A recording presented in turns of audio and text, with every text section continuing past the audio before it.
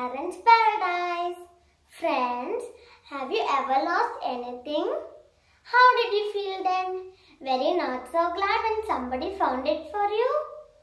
Today, we are going to learn about a man who lost his iron axe head in water and how Elisha, a man of God, helped him get it back.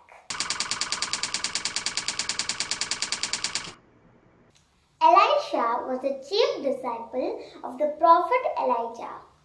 He received a double portion of Elijah's spirit after Elijah was taken away to heaven.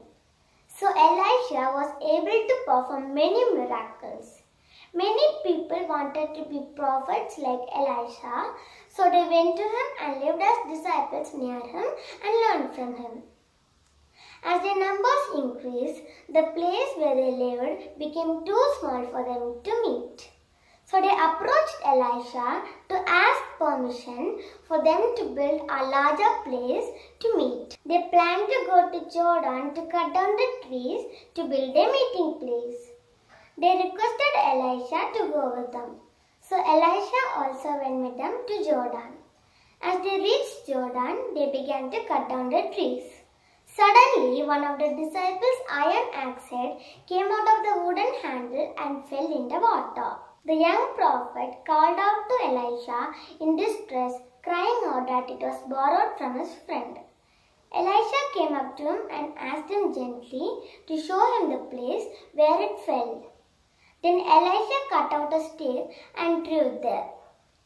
Wow! To everyone's astonishment, the iron axe head floated from the place where it fell.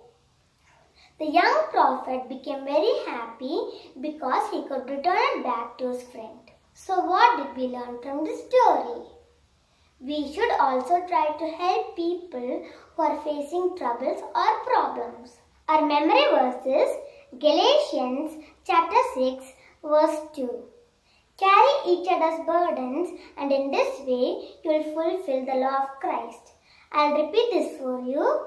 Carry each other's burdens and in this way you will fulfill the law of Christ. I hope you like my video. We'll meet in the next episode. Until then, bye bye.